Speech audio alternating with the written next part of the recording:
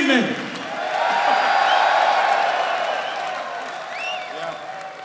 Well, it's lovely to be back at the. Uh, you know, they haven't brushed the floors or anything. It's exactly the same as it was about 30 years ago, and a bit dirtier. Pretty scruffy backstage. For those of you who have backstage fantasies, it's crap.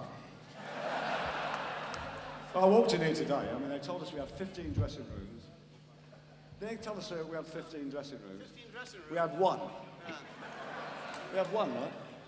It's a bit small. And it's a bit scruffy. So I would recommend to the management of this establishment a bit of hoovering. One, two, three, four. Are there your friendly neighborhood sailors want to take you for a ride? Now tell me that the night that I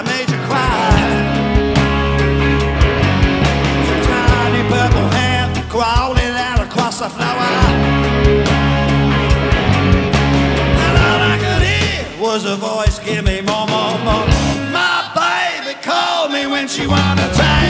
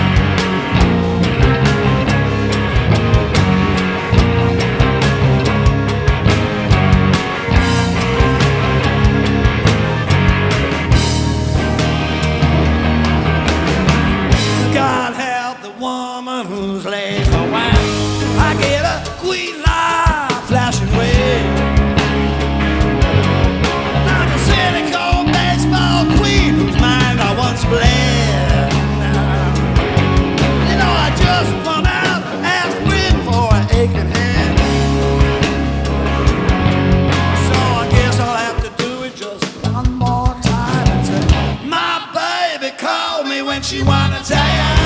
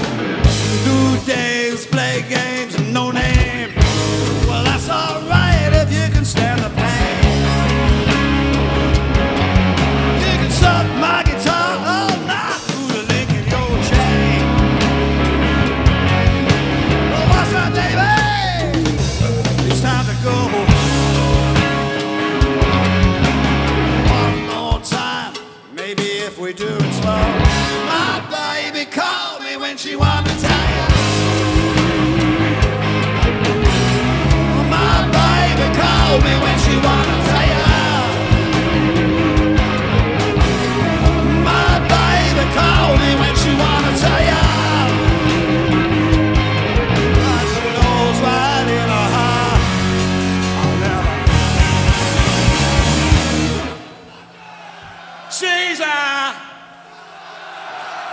she's a, she's a sucker.